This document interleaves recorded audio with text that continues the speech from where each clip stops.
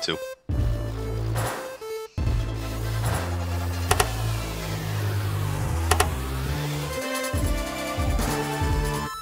Hello and welcome, ladies and gentlemen. This is Run It Back. My name is Remko Rinkema, and today I am joined by the 2015 WSOP main event champion, Joe McKeehen. We're going to watch the entire final table, break down some hands, go into what it was like to win the main event because we all want to know that. But first and foremost, Joe, how have you been holding up during this uh, quarantine? I'm, I'm sure I'm sure the online poker streets have been very very kind to you. Yeah, um, I'm out here in New Jersey playing the World Series of Poker right now. Uh, just playing pretty much every day. Every day there's an No Limit Hold'em event, and we're only got a couple events left, but I'm hopefully gonna keep doing well. Uh, it, has been a different change of pace because for the last couple months we've basically not played any poker since we've been stuck at home. So it, it's good to get back in the streets, battle with some with some talented players, see where I stand, all that stupid stuff. And then, as far as you know, winning one, I mean, everyone's sort of striving for that. You managed to uh, cross one off. Um, you know, real quick on that one. Um, what, what's it like winning an online bracelet event? Is it does it just feel like you won a big online event, or is there a little bit extra sort of sauce on top there? Oh, it felt real stressful. It was definitely different since like I played a lot in the live poker and you get to see people and like you can tell that they're stressed, but like when you're behind a screen, you're the only one that you know this it's stressed and it's just a huge grind and like winning one i feel very fortunate lucky. It, it felt good. Like I'm, I, I don't usually play online so being able to do something online is like a big check box off my list that's awesome, man. Well, uh, we're excited to have you on the show here because this, of course, was the big breakout moment for the international audience to get to know Joe McKeehen. And this main event is one that has plenty of interesting storylines, but the biggest one, of course, was the way that you came in as the favorite and closed it out. Uh, for the people watching this show right now, let us know in the comments how you feel about this final table, how you feel about Joe's play at the final table, because we're going to watch it all, we're going to break it all down. And if you like the video, you know, please hit that like button subscribe to the channel, do all that good stuff, and that way we'll make sure that as many people as possible can find this show. Uh, Joe, I'm just going to hit play here on the show. We're going to watch these first couple of minutes, get excited, get back into the scene, and, uh, and see how much you remember of this day. Yeah, let's do it. It's time to play the game. Hi, everyone. Welcome to the 2015 World Series of Poker main event final table. That bracelet and nearly 7.7 million bucks awaits our next champion. Fans have come from all over the world to watch poker's biggest spectacle and support players from four different countries. Lon McEachern here with Norman Chad and Kara Scott. Nothing quite like poker, the Penn and Teller Theater, and November. 24-year-old Pennsylvania pro Joe McKeehen, the overwhelming chip leader to start. As Uncle Ben said in Spider-Man, with power comes great responsibility, indeed. And with a big stack comes great responsibility as well. McKeehen expected to win, that's a lot of pressure. Belgium's Pierre Neuville, the oldest ever November Niner at 72. 72 is just a number. Damn, that sounds old, though. Max Steinberg is the sharpest dresser and the most accomplished player remaining. The clothes don't make the man, the cards do, but I like how Max dresses. Beats a hoodie and a bandana over your mouth any day of the week. McKeehen with about... All right, here we are looking at the chip counts coming into the final table. Joe, it was pretty, pretty clear that you were the overwhelming favorite. You know, you played really well. You have a ton and ton of chips. But as far as coming into the final table from your perspective, how did that feel? Obviously, good on one side, you know, having all the chips, but was there any added pressure from you knowing that if you don't don't win, it's going to be forever sort of held over your head in a kind of way. I felt like I was at the advantage to do more than everybody else, so I was just going to play my game, hope it worked out. Um, I got kind of lucky early that like I didn't really run into anything that would give me any pause to to like switch my game up or anything. Like everything I did kind of worked, so that that was like really lucky. It, it, it was a good feeling. I definitely thought like I, I would go deep at least. Like just because you have a third of the chips in play doesn't mean you have to win the tournament, but like you should be getting, you know, top three, top four a lot of the time and being cognizant of where you are in the standings. If something changes, if something gets to the point where maybe you're not the overwhelming chip leader anymore and you have to adjust. Like I was confident and ready to do all that stuff, but uh, it, it, I, I, definitely wanted to come in and win. I right. mean, everyone does, but I, I felt like I needed to come in and win. Yeah. So while you're watching the first couple of hands play out here at the final table, let's go back and talk about your lead up to the final table. Um, you know, I'll be I'll be the first to say that uh, you were really noticed on the penultimate day when you were in the Negreanu were at the same table. But you know, talk to us about sort of the roadmap you had to make the final table. Was it an easy ride? Did you were you ever down to a few antes? Like, what was the story there? Well, I, I had a lot of chips the whole time and then like on day six, I ran into a lot of resistance. I started losing chips. I had to hit a river to survive. Uh, after that, like I just won all the important hands. Like if chips if chips got in, I was the winner of the hand, and that was really like the story of it. I guess it was lucky. It was fortunate, but um, I also like before when we got to the final day, I remember like the first hand I played, I raised and got like three callers, and I have sixes, and the flop had a six on it, and I'm just like, okay, this is gonna be a really good day. This is all I need. I want a big pot with it. I won a lot of pots afterwards. I just had a good amount of chips. Then like I won another huge pot with sixes, and then um, after that, I, I kind of realized like the timing of the pot was great because like 10 or 15 minutes after that pot, we went on dinner. So I got to like go out and be like, okay, we're on this huge bubble where I don't know, maybe 12, 13 people away. And now I have an overwhelming amount of chips compared to everyone else. And the way this pay, the payouts were structured, making the final table was worth a lot more than trying to accumulate chips for the final table. So I, I kind of had the opportunity to talk about it, strategize on break with the people that I hung with, and they kind of told me like, yeah, maybe you should get really aggressive, just kind of don't care and see how it works. And like the story of of the final table is like whenever I tried something, it just worked. So I was never deterred from doing it, right. and it kept working and it kept working. And that, that's just kind of how the whole tournament went. And like when things happen that way, it, it's just like a beautiful thing for you. Right. Um, two iconic moments I want to go back to from before the final table: um, the hand against Justin Schwartz, uh, insane cooler, and the hand, hand against Negreanu. Do you have specific specific memories of those two moments from your perspective, or because you end up winning it, does, do those two moments become you know a lot less important? Well, no, those are those are probably the two hands that everyone's going to remember. I don't think anyone's gonna like this final table wasn't super active or there weren't too many like huge hands or spots or anything. It, like those were the hands that were definitely the most entertaining pre-final table. And that that hand against Justin was the one I was talking about. That kind of like right afterwards we got to go to break and I got to evaluate the situation. That was massive, of course. Um, and the one against Daniel was kind of just like it, it, felt expected that we were eventually going to clash for all our chips, and we did once or twice when he was very short. He won them all, and then afterwards, um, after that hand, it was kind of like the anticlimactic, like, all right, we're now we make the final 10. We're almost there. I got him. So it's probably my time. It's not his time. Um, I, I finally eventually got him and like the battle kind of, it felt like it was over. Right. At that point, you know, we had to get through one more person. I was still in this mindset of like, all right, well, I'll try to win every chip because 10th through 9th is like this massive pay jump. No one wants to get uh, 10th, obviously. And got to keep focusing on where I'm at, and then I could like you know relive the moment over and over and over again forever after after the thing was over at least after that day was over right and we'll talk about your preparation for the final table in just a second but here you shove the button with ace four pretty standard so it seems chan was a short stack called on with king queen also seems pretty standard and we lose a player here right off the bat uh, him getting sent to the rail um, yeah, th- this is like the adversity thing I'm talking about. Like you go all in with ace four and you get called, you're usually behind, and like he had the one hand I beat that he probably calls with. Yeah. In the spot, which is like, okay, so the final table's gonna go like this. Great, like I'm not gonna lose. No adversity whatsoever. This is like the second hand off the deck too. So I'm sitting here like, oh, right off the bat, I'm already giving up a double up. What can I do about it? All right, I still got a lot of chips. I got to chill. Now he's got chips to my left. I got to think a little bit, but nope.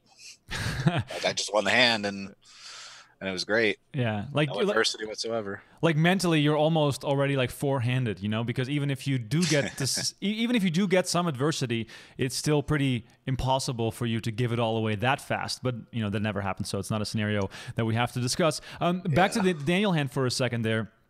Uh, clearly, the room was electric that day. I remember sitting up on the perch overlooking the the sort of the feature table setup uh, as Stern was tanking his way to the final table on the other table while you and Daniel were providing, you know, great entertainment on the other table. Um, what's it like to knock out the one guy that everyone wanted to see at the final table and then as an attachment to that question, would you have rather ha- had him with you at the final table? No, no. No, God, not at all. He's going to play pretty good on the final table. No, thank you. I'd rather him. Uh, I'd rather get rid of him as early as I can. But I mean, when you're down to 11 people and he's on your table, it's not like you can avoid him any longer. You just got to go. and you know, like if he's on the final table, everything's different. Um, him alone would probably kind of change the whole way the final table is played. So him him getting eliminated is like exactly what I needed. It, it, it like once you get rid of a guy as accomplished as that, it feels like your path is a little bit easier. So when I got that opportunity, it was great. And I know everyone was rooting for him. It would have been better for everybody and like poker in general and like the entertainment value if he was there. But you know, I, I got to do what I got to do. I'm, I am trying to win the tournament. I'm not trying to make it as entertaining as possible. I, I am on the side, but I, I'm I, I can't think about this when I'm trying to run him over. For sure. No, obviously not. Um, but if you look at it in hindsight, do you think that people were maybe rooting against you because you were the guy who busted Daniel? Yes, absolutely.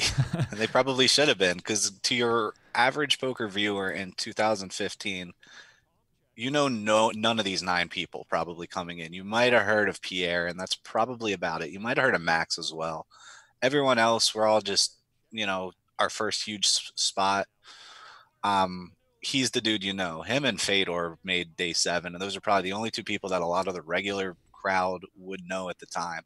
So when neither of them makes it, it it's kind of like may, maybe a little disappointing for them because now the entertainment value or their interest probably just goes down naturally. Right. But um, you, you know it, everything changes if if you have these accomplished players uh, on your final table. You have someone to root for, like the Phil Ivey year. I know was huge, and this is still a November one, so there's there's four months of lead up into this. And if you have someone like Negreanu being able to give you four months of lead up, that's pretty absurd uh, especially from the media side of it. But now that he's not there, you got to interview. You know, you got to come out and you got to interview these nine reasonably unknown players. Try to get as much uh, build up as you can for that, compared to just having the natural build up of having an accomplished player there. Not that anyone here isn't accomplished, but you know, Daniel's no no one. All of us combined are not as accomplished as him. So yeah, and as far as exposure wise, you know, tier A is very, very small. It's probably Ivey, Hellmuth, and Negreanu, and then then there's already a drop off after that. You know, even even someone like a Fedor or I, would even say like Esfandiari is lower than those three guys. So obviously, as far as attention, that would have changed things a lot. Um, what was the four month period like for you, uh, being the chip leader, n- knowing what you know, and then getting ready for this big day? So nobody really knows anything is the great part because you know is the first time any of us have experienced anything like that. There, there's only been a handful of people that have gone through like a four month period before the break. So what I tried to do is I tried to talk to a few of them that I knew. I knew John Dolan did it. I knew Reese did it because we were uh, all friends before. Um, I think I tried to talk to Duhamel with not a lot of success because like he also came in with a huge chip lead. Me and him had like our path to the tournament seemed very similar, so I wanted to get his thoughts. But at the same time, poker in 2010 or whenever his was a lot different than now. In 2015, it's a lot more technical now. There's a lot more math involved. There's a lot more ICM involved. Um, I, I just tried to do what I could with kind of knowing what to expect. Like some of the best uh, advice I got was like, "Yo, just so you know, they're gonna like you're going to pause like every 10 15 minutes for a commercial because you're playing on live tv and i'm like oh i would have never even thought of that and that would probably bother the crap out of me especially if i'm trying to run the table over. So when he told me that that was like a really good piece of advice that you wouldn't even think of but something as small as that is like really good to know. Um, then preparation was whatever i kind of just tried to play as much as i could because i didn't really know what i could do as far as like studying hardcore because i already had a good idea of what i wanted to do and when you have a four month period, you have reads on people, but they have four months to like change everything or like kind of figure out their reads on you and kind of adapt properly. So it, it's kind of almost a new ball game when you come in four months later. I, I kind of just went in with the general baseline, hoping it would work, and it did. So the little bit of studying I got to do at the end too was great. Like we just go back and watch final tables, me and my coach Cal, and every time he he like had a spot. He's like, "What would you do here?" I, I would do this. And he was just like, "Good. I think that's exactly what you should do." I'm like, "All right, good. This is really good for my confidence. Like, I, I, I kind of already feel like I know what I'm doing." Right. Uh, once once more, speaking to what you said earlier, uh, you raise with the ace king. Butteroni wakes up with ace jack. You know, sm- smooth, smooth sailing as far as the showdown goes, and and a nice smile yeah. there. Um, I mean, um, he's got like five bigs in this hand, and he's just way far and away eight of eight or whatever. Like the next closest stack probably got like ten million. He's got two and a half million. So even if he wins this hand, right? Like this this one wouldn't even hurt me because he's playing so incredibly tight to my left anyway. It doesn't really matter. I can get away with everything. Yeah. But you know, you don't want to give him a bunch of chips and then get let him get pesky, let him get uh, confident. You know, you still want to win. It, you also lock up the money when the player is eliminated. Right. You can't finish eighth anymore when someone else finishes eighth. So that's like really good. Right. So Actually, that's a good that's a good point that you make. Uh, how aware were you of the payouts, and how important was it to get to a certain level threshold? And how invested were you in the main event, it being a 10k event? You know, did was this like life changing, or did you sell a lot of pieces, and therefore you had to get at least top two in order for it to be you know worth your time, so to say? Well, it's already worth my time. I mean, you come into the final table, you got a million dollars in your pocket, but now you know there, there's six more million to win. So I got to do what I got to do to win. Whether I'm backed or if I have all of myself, I don't think it changes really the way I play. Uh, at least it shouldn't. I, I try to make it not. I don't want to like. The, the, anytime you're backed and you're like a professional poker player, there's always a little bit of doubt in your mind sometimes about potentially looking stupid doing something dumb because your backers might not like it or whatever. But like w- when you get over that you you tend to play a lot better because if you think something's like a good play and even though it might be stupid then like hey you get to learn from it later because your bag can be like yo i don't think this was that good of a play and also like you're putting yourself out there because if it is a good play then you're not missing it which is also a real big deal right yeah, that, that's interesting. But then, as far as you said, you know, you can't finish eighth if the eighth guy gets knocked out. Um, were you in your head doing the math? Every elimination was, you know, that much more freedom. Um, not really, because I had so many chips. Like I remember the pay jumps from like ninth to eighth to seventh were all very small.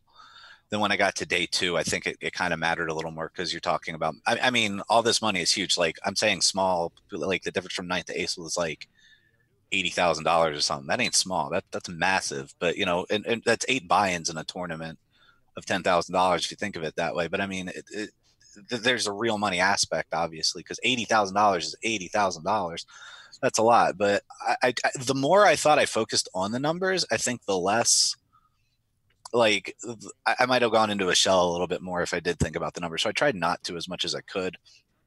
Everyone else had to think about the numbers a lot more than I did, and I kind of took advantage of that because I was in the spot where like I, I never got close to busting, so I didn't have to worry about it.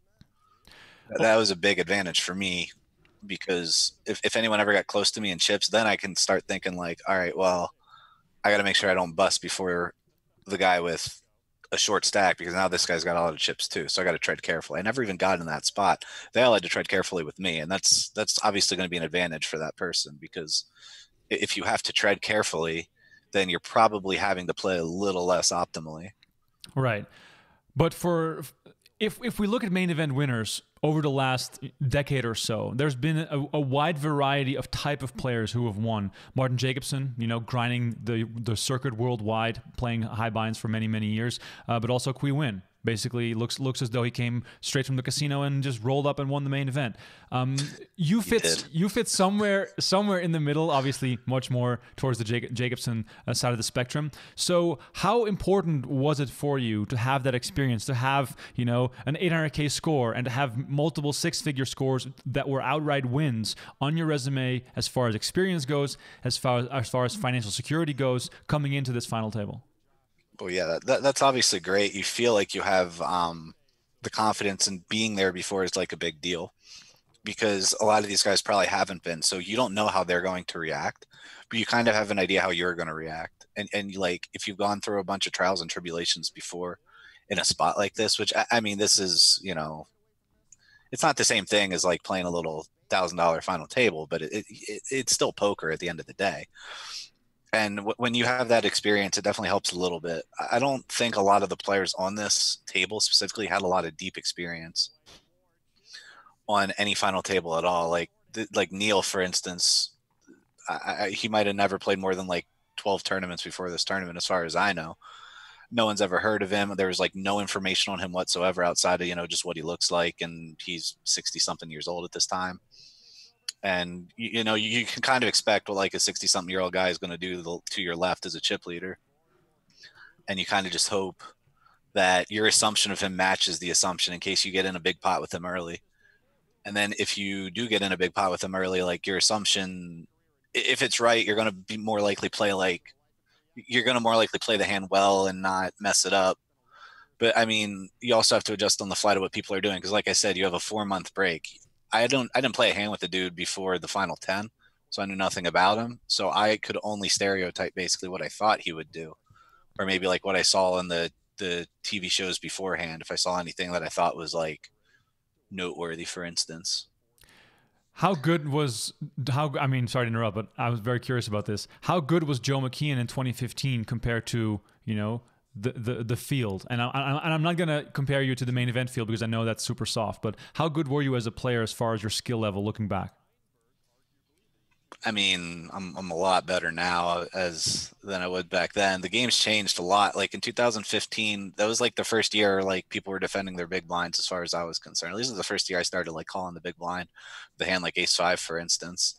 And it, it was it was different because it, it, felt like there was a lot of skill involved in the game when you got to do this. Um, I, I was probably a bit passive back then, believe it or not. I, I, I, even now I tend to play reasonably tight and I don't try to get too out of line. But nowadays, like there's a lot more barreling on the turn because there's a lot more floating on the flop.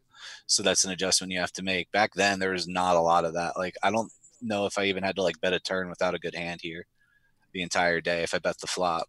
I, and some of that too was like I usually just had a good hand on the flop, which is you know very lucky. But all, that stuff is like important because especially when you get to a final table, that's where people have to tighten up a little bit. So in theory, those plays should work even more. But I never really even had to test that out, so it was good. I just got to play kind of kind of straightforward. No one was really making too many big moves, nor should they, because it's a lot of money.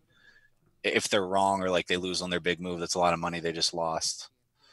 All that type of thing. Um, I, I mean, I'm a good player now, for sure and I still know how to play a final table. I think that's really important because it's something I think a lot of even the top regs can maybe not do as well as me. And that, that's where like all the money's made, right?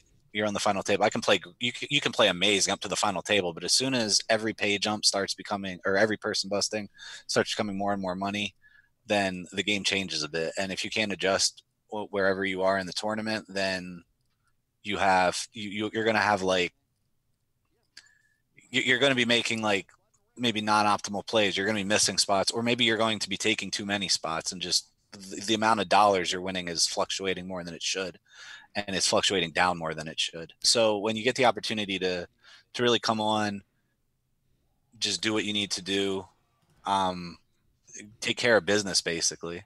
Right. I'm pausing it here real quick. You fold the ace five. You had some talk there back and forth with, Max. Um, you know, for the people who are watching this show for the very first time, we talk, you guys watch and listen, and then we'll break some hands down along the way. Um, in this hand, he, he of course makes trips as, as everyone can see. Is that an easy fold on the river because his ranges is not going to include anything other than, you know, the only thing you beat is a bluff, basically? Yeah, it, it's a spot where it looks like I have a good hand. I have aces and queens with king kicker, so it looks like I should be good. But a jack beats me, a queen beats me. So he checked back the flop on this hand and actually let me catch up on the turn, which uh, worked out for him. Although if he bet the flop, I would probably still called with ace high because it's button on blind. But like I said, I don't think in the main event people are like taking huge spots like this. I don't think you're going to see too many river bluffs here.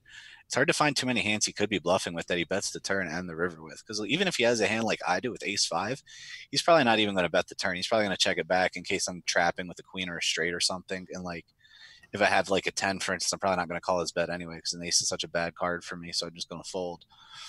So when, when he bets the turn and the river, it, it looks really strong. It's annoying um, I did try to talk to him. I tried to talk to a lot of people on this table, but no one ever talked back.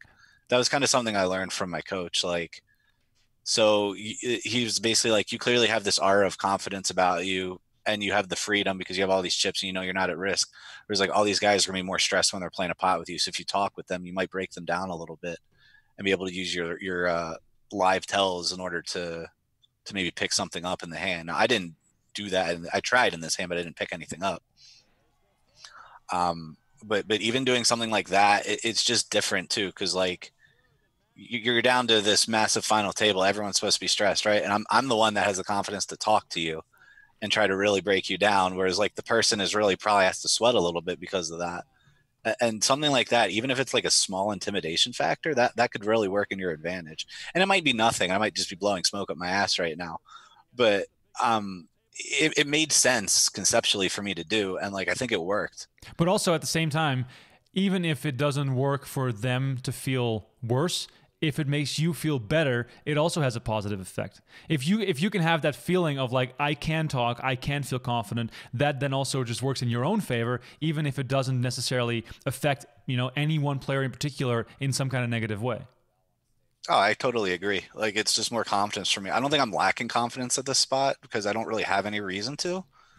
And um, if I got a reason to, though, that might be a way to talk myself back into it. Right. But like, even if it's like, you want to play a pot with me, you want to bluff with me, you might get an interrogation by the end of it if I think you're bluffing. So, do you really want to like a put the bluff out and then b go through the interrogation? You know, when you're at this stage of the tournament, it's so stressful. At least I think it could be that it's just kind of worth it because no one else on the table is going to have like experience talking in a spot like this. Like, I mean, I don't, I didn't either. I just kind of did it because I felt like it was right. Right. Uh, for the people who are just getting to know you now for the very first time, um, we talked about your lead up to making the main event final table, but you know, what was the lead up to you know your poker career blossoming in the way that it has? Obviously, you having you know fair bit of results before the main event final table. Like, what allowed you to? I, I guess I'm scrolling back on your Hendon mob to back in uh, 2010 to play uh, your first ever uh, live 2K event, which was. Um, was it Verona? Where's that? Is that uh, on the East That's Coast? Turning Stone. Turning Stone. There you go. So Turning Stone. Talk to me about how your poker career got started and, and you got to a point where you could play these you know bigger live events. Yeah, I played online pre Black Friday for a while. Um, I didn't do anything in high school and I didn't do anything in college because I was spending a lot of time playing online. So that's kind of where it was. And then Black Friday happened. I think I was a sophomore in college. I didn't know what to do. I stayed in college, played some I, I wasn't 21 at the time. I think I was 19. So Turning Stone was like the first place I could go. Um, I went to Turning Stone before Black Friday as well, but it's like, all right, I guess I'll just play these tournaments on the side while going through college and doing whatever. And then like I got, I went to PCA when I was 20. That was fun. Uh, won, won, won a little bit of money down there. That was a big deal for me. Gave me some money to go through college with like this confidence of like, oh, I got, I got some money. The college students usually broke by now, right? Like I got some money. I, I have a little bit of a job I'm going to turn 21 shortly, and then as soon as I turn 21, I'm just going to start traveling places and see what I could do.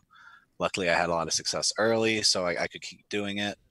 All that stuff is like really fortunate because a lot of people that are probably doing the same thing, if they don't start off well, then they're in trouble. And like they, they can doubt themselves, they might change their path, even though they can do it. So, like, I've been very fortunate in my poker career up to that point. I mean, well, that, that the fortunateness has never stopped. I still am, but like at the very beginning, especially, it's very fortunate to get myself. Like you go deep in a tournament, and you you know you're just, you get in like a huge flip, a very standard flip that no one played incorrectly, and like the winner of that flip is the guy you remember, and the loser isn't.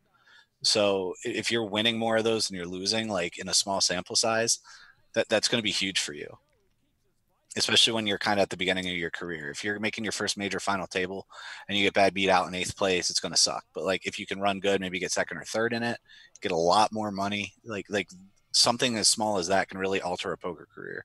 Right. And I was lucky enough to like when I made my first couple big final tables to end up winning the tournaments. Yeah, that, that's really crazy actually because it does have such a, a major impact. Um, we just saw Pierre Neuville bust. Uh, I, I, love Pierre. He's a, he's a great guy. You got the uh, Jack six, six, of Hearts in there uh, against his Ace Jack. Once again, a scenario um, where your opponent was very very short, which you know was sort of a theme here in the the first couple hours here. Pierre first losing that big hand where he uh, called the race with Ace King from Neil Blumenfeld. Neil made made a set of fours, and then uh, Pierre ended up calling him down with uh, with top pair. Um, so looking back at your results, how does a 20 year old kid go into PCA, obviously, you know, understanding you banking a 2K, but then, you know, jumping into uh, a 10K high roller uh, and sort of, you know, taking it to, to, the top? Or were you already established to a point where, you know, selling a bit of action, taking some shots was, was part of your repertoire? Uh, I actually satellited into that 10K. Oh, really? So that, yeah. I, I had no intention of playing it, but I won the 2K, and then it's like, here's a $1,000 satellite, try it out.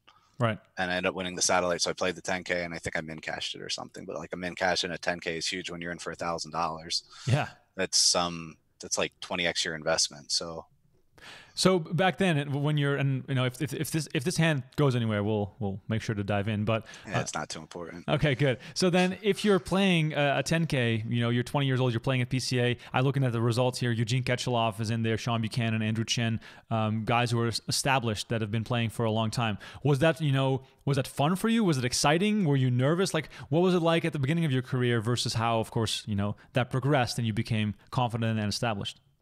Uh, it was definitely nerve wracking, but at the same time, like I, I vividly remember not knowing who anybody was. So like I just figure these dudes are all good and like they're playing well, but also the game back in 2010 was a lot different than than it is now. So when you're sitting there playing with just a bunch of people that are three betting and four betting, and it's a lot more pre-flop. Plus, it's a turbo, so I'm sitting there with 15, 20 big blinds, right. so it's not like we're doing too much play anyway.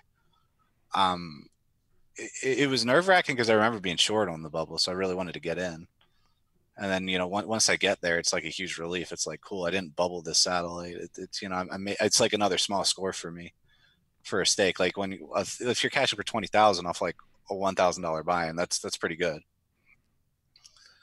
So something something like that is just a little bit more of a confidence boost. It's more money in my pocket that I get to take home with me. Right. Yeah, definitely. Good stuff all around. For sure. And then we'll fast forward to the uh, monster stack where you finish in second place for uh, 800k um, in in many different ways. And I've been covering WSP since 2009 the the guy who finishes second in a monster stack or you know top three or whatever there's so many of those people now over the years. And most of them you know just take the money or you know play for a while and, and never amount to anything. And back then you know th- that could have happened to you but you didn't. You spun it up. You you took it big. You won the main event and now you're playing all over the place. Um, but take me back to that moment because clearly that is sort of like an anchor point from my perspective of like you know winning life-changing money and really being able to have a lot more freedom because you know winning 800k versus coming home with 100K is, is a pretty big difference. Exactly. you said it best. Now I have all this money. I can go and play more and I can play bigger if I want. I can test myself. I can see if I'm as good as I think I am. Um, I thought I did well with it. I, of course, I parlayed it. I don't have to like, it, it's another tournament where I ran very well.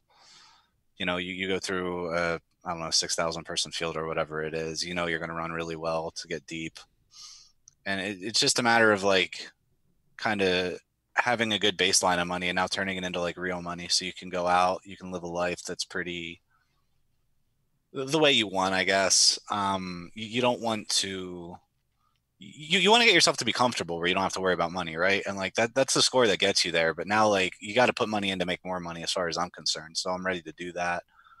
And once i can get to that point it's like it's a good feeling that I don't have to worry anymore. I can kind of do what I want. If I can advance, I can accumulate wealth. I put a lot of money away, of course. And you, you know, like when I'm older, I don't think I'm gonna have to worry about funds no matter what happens to me now. So that's really important to me. But it's also from, I mean, correct me if I'm wrong, but it's easy when you have a massive score, especially when it's, you know, 800 buy-ins, it's easy to get complacent in a way where, oh, now I have all this money, I can now be lazy, or I don't, I don't have to work on my game anymore because I have all this money. Why didn't, why did you not choose that path? Is that just like internal determination and motivation, or are there different factors that play there? I don't think I knew. Like, I don't feel like I have much in life that I want to do outside of play poker, at least right now. So I'm just going to keep dedicating myself to what I'm good at and trying to make more money. I enjoy going out and playing live poker tournaments for a lot of money. And you know i have my stops that i really enjoy going to that i don't ever want to miss. And just seeing people socializing playing games on the side all that stuff is just like what i like to do. So that's that's what i try to do. And i don't i, don't think there I don't think there's a, another passion that would get me to not do that right now. If, if it comes up in the next couple years, it'll come up in the next couple years, and luckily, I feel like I'll be ready for it. But for now, this is kind of what I know and what I got, so it's what I want to do. Right, but then as far as you know, getting better and evolving with the game, how how have you handled that because if you were to play heads up against you know 2013 Joe McKeehen, you would obviously smoke him. Um, and I think it's probably a good thing if you can say that about every previous year because that means you're still getting better. So how do you stay in tune with that, and how do you make sure you stay at least at least on the curve, if not ahead of it? It's hard. Like I, I the stakes I play, I, I think I'm still beating pretty significantly. So it, it's almost like there's a cap because if you put someone like Ali in the same exact stakes as me, there's a good chance that our two play styles will be incredibly different, and that might. I, I don't know who would play better in the tournament in like a thirty five hundred dollar, for instance, but so, something like that is, is like still what you need to do. You got to get to where you are, and you got to adjust to what's in front of you, and that, that's kind of all poker is no matter what the stakes are. Sometimes it's easier, sometimes it's harder. As long as you have a good baseline, you're going to be fine with it. And like I, I do like to dabble in the larger buy-ins when I get the opportunity to do so. When I do, it, it's fun. It's you know making it deep in that is like feel it makes you feel super accomplished. So then, and I just want to do that more and more often. So you mentioned Ali Imsirovic. Um, what is the difference then between you and him? Well, he's really good, and he's you know beating up on people playing hundred thousand dollar tournaments every day, right? So his game is like incredibly at the top. But if you're playing, if if you play that, if you're playing like someone playing a hundred thousand dollar tournament, they're generally gonna be really good. If you're playing someone playing a thirty five hundred dollar tournament, they could still be good, but they're not gonna be at the level of someone playing a hundred thousand dollar tournament most likely. Right. So, like it, it's just an adjustment factor. A lot of the stuff Ali can do in, in, a specific spot might not work in a smaller tournament because when he's playing up against like a David Peters, for instance, David Peters and A probably have all this history and B it, like David Peters isn't going to make too many mistakes, right? Mm-hmm. Whereas like in the thirty five hundred dollar person or in a thirty five hundred dollar tournament, if you're David Peter or if you're Ali Imsirovic and you're playing against a reg at the Borgata, for instance, who's who's probably a good player, but not at the level of the David Peters. If you're playing him like he's David Peters, you're probably not playing him the best way. Right. So you know this is the, this is the age old thing people always bring up is that Hellmuth is extremely good against terrible players because he is Phil Hellmuth.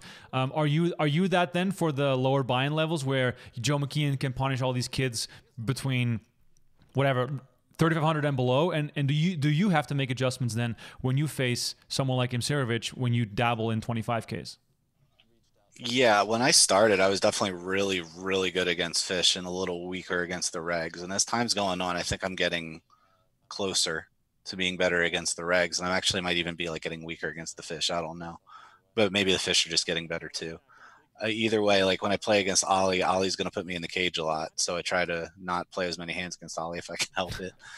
Um, but when when I get involved with him, you know, it's still just a good baseline. I need to play the hands that are in front of me. Um, try to play it the best I can, understanding that like he's capable of doing a lot of stuff, trying to figure it out in the moment. We just and, and it's tough. I mean, when you play a 25k, you're going to play a lot of people that are going to do that. Their bet sizes they're going to be a little more difficult for you to face or to kind of figure out what to do.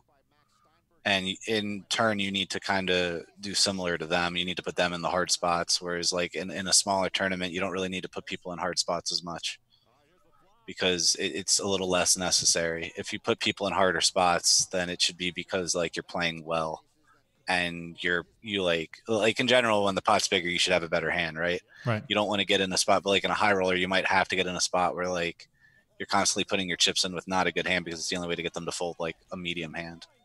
It's a weird dynamic and spot. It's just fun and different to play but like when you get deep in a tournament again in a high roller people are going to play really well on like their short stacks because generally high rollers the structure goes faster which i personally enjoy and then like when you're deep in like a big WPT event, for instance, and you're still playing super deep against a bunch of people, like it's it's just a different game. Right.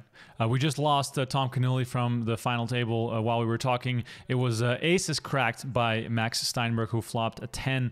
And then we just now we saw um, Zvi Stern moving only with 10 9 suited and uh, Beckley calling it off with the aces. Uh, Beckley's final table, by the way, really funny to look back on. We haven't heard much from him since. Maybe you can shine some more light on that later. Uh, but it is funny to see that Beckley basically did not have a lot of chips, just like you know Neuville and and Butteroni and uh, Chan. But cards went his way, and he managed to spin it up in, in a spectacular way. And uh, you know, we'll we'll see more of him later in the broadcast. But uh, uh, just to get you guys caught up on uh, what's going on. Also, if you like the video, just hit the like button and subscribe and do all that good stuff. That really helps me and the channel a lot. Uh, we're watching the 2015 main event final, final, table with the champ Joe McKeehen. In case you're just tuning in, uh, Joe, at this point of the final table, you're just having a, a blast, right? You're just sitting back you know you're watching people clash. There's there's lots of showdowns. You're just relaxing, or you know, are you getting antsy and do you want to get this over with and, and crush some skulls? Like how, how are you how, how are what's your mindset like in, in a moment like this where you know you're not really involved much? Well, I, uh, we're at the point now where like I, I don't think there are too many short stacks. Everyone has like some chips, but they all have enough chips where like they can worry about busting pretty easily. So that's that's that's an okay spot for me because like if I can pressure people to you know get them to potentially be busting, that's that's huge, right? Because then they'll have to back down. They'll have to play very cautiously. I can take a lot of chips maybe I don't deserve. And w- when you get to that point, it's just like you, you need to keep playing what's in front of you, but at the same time, people can still play poker with you, so you can't just go crazy. You have to you have to be cautious. You have to pick your spots properly. You have people that are kind of playing back a little bit, and you just have to know what's going on. Basically, I, I, we we know that like if you make the World Series of Poker final table, it's really deep. You're going to be playing for hours and hours and hours and hours and hours because you have to because the structure is very slow. Everyone generally has a lot of chips, and it, it's just it's a time consuming thing. So while you're there, you're just kind of trying to play what you play the best you can in the moment while also like not not messing around, I guess. Like you don't want to get too antsy because if you get antsy, you might start playing worse and all that stuff. And you don't want to like give away chips because you're playing for all this money. You just got to stay focused as much as you can. We're five handed here. Um, what was your opinion on these players? Let's go through all of them. You know, but let's start with Zvi. What was your opinion on the players at the table? Okay, Zvi was. I played a lot with Zvi before the final table, and he was he was very aggressive and wild and hard to read and he was in second to start the final table. So I thought he would give me some trouble. I thought if anyone played back, I mean, it'd probably be him. He ended up not really doing that. So that was kind of lucky for me. I didn't have to worry about it. Uh, you have Josh, who is like a cockroach. He's impossible to get rid of. He had 10 big blinds multiple times in this tournament and just found ways to get up and, you know, make a comeback and make a run. You have Max, who I didn't play a hand with until this final table. I just knew the name. Uh, I had position on him, which was helpful, and he has like one of these stacks. He had one of the stacks in the middle where like he's a middle stacks. Like he's a good dude to kind of come after because he's going to definitely be aware of the money, and it, he's going to have like he's forced to care basically about the money. So, so the fact that he's to my right, if he starts trying to get out of line, I think that's an easy thing that I can do to punish him. Really put him in a spot where like he has to do a lot of folding and kind of keep him in line. You have Neil, who I knew nothing about. He's definitely a fan favorite at this point. Because like, look at the dude. How can you not? I know. Everyone loves Neil, right? Um, and you know, me and Neil's great. I, I've probably seen Neil the most out of any of these other dudes after this because he lives in Florida, and I go to Florida all the time to play poker, and he's just always there playing. It's great. Um, yeah, he, he's a very nice guy. We're friends. He, you know, something like this though got him a life like a poker life and like for someone who wants to do it but doesn't really know how or like you get into it at such a late age as he did it's like such a huge deal for him and like the fact that he got this opportunity i think everyone's happy like everyone should be happy for him right and here, here we go with the ace king against ace jack we haven't listened in much to the broadcast so let's listen on this Oh, so you need the dealer's name before he put in the final 400,000? He exposes cards. Neil's got his cards turned face up. He hasn't called yet, Neil. All right, there's the call. Stern officially at risk and dominated. Yeah, Stern needs to get lucky, Ace king, ace jack. Or we will be four-handed. Neil's girlfriend Pascal likes what she's seeing. i love the Yeah, hats there's, there's there's only casually like a million dollars in equity in this pot at least right for whoever wins everyone joking around. I mean, the final table atmosphere is unlike any event of the year, and it both makes massive money seem big and small at the same time. Exactly. It's pretty absurd. And you're you're sitting here like I think this is a good amount of Neil's chips too. I don't think he has that many more chips. So if he loses this hand, he's going to be the short stack. So like this is an opportunity for him to really get back in to have a bunch of chips to fight with. And if he loses this hand, you know, it's going to be like soul crushing. It's going to be so hard for him to come back. He didn't. So, you know, that, that's that's a really good turn card so he doesn't even have to sweat the river. No, Yeah. again, you can't finish fifth when someone else finishes fifth. So everyone just made a like a couple hundred thousand more dollars probably. I mean, I feel like that's that's your go-to quote now. That that that is the the a great way to put um, how important it is to not get eliminated because if someone finishes ninth or seventh or sixth, you can't finish in that spot, which is both a pay Yeah. jump and also a, a relief in some kind of way. I mean, hey, the money is now in your pocket. You can't get worse than fourth place money right now. That's, Yeah. that's a big deal. You, like you can't win the tournament when you're nine handed, right? You're not going to get a nine way all in and hope you win the hand. You're, you're going to have to get it up like one at a time. So it, it, it is important, and it's really if the money isn't in your pocket until it's in your pocket, you can have this huge chip lead, and it doesn't matter until you know people are eliminated. If they're all sitting there, and you know you just have this chip lead, and it's like slowly going away, you know you don't have that money in the pocket, and that's a real big deal. That's why we played the, the tournaments is to just get all this money. Right, and it's it's it's the best kind of lottery that we know about. It's both both exciting, fun, and you got a little bit of uh, a, a skill and and and um, I don't know. You got some kind of effort that you can put in to uh, to make yourself uh, do it a lot better. Um, does the main event final table create bonds? You mentioned and you and Neil, you know, being friendly. The, like, is it is it a unique experience where if you come across a, a, November Niner from a different year, or you know, see guys from this final table that you know you have a bit of a longer chat and you sort of have a bit of a friendship with those people? I don't know so much about other years, but like if we see each other, if the nine of us see each other in a tournament, we're like, oh yeah, what's up? You know, we, we did this thing together. It, it can be a bit of a bonding experience. We didn't become like all like, you know, super buddy buddy friends, but we're, we do have something that other people don't have. Like we have the specific year as well. So when, when you find someone else that's done it, it, it's not really even like a consideration in my mind unless like they bring it up Right. but like like I see Neil all the time. We're friendly. I see Tom a decent amount as well. We me and Tom have played online a lot this World Series. Um, who else? Patrick Chan kind of moved away, so I don't see him no more. But I used to see him all the time.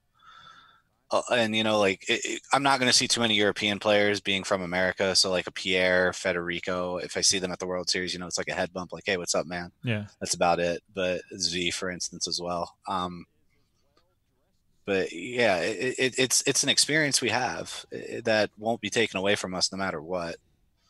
You know, we all went through it. I know Max actually recently commentated on the bracelet event I just won, and he was very complimentary of me, and I appreciate that. You know, I think he has a lot of respect for me, and I also have a lot of respect for him, both as a person and a player. So something like that is it's like you get to know these guys a little bit better because you you're you're all put into the spot where like yeah you're trying to beat the crap out of each other to have all this money, but you already made a lot of money in the first place. So even if you beat the crap out of them, there's not like there's going to be any feelings lost over it.